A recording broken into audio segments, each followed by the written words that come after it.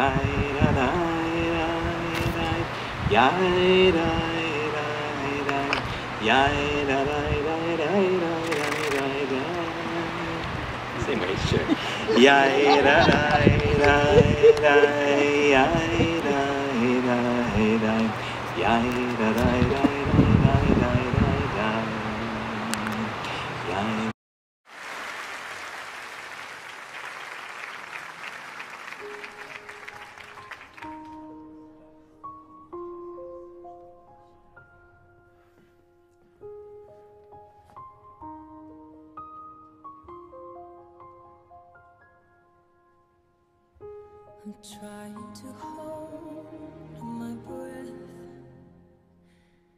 let it stay.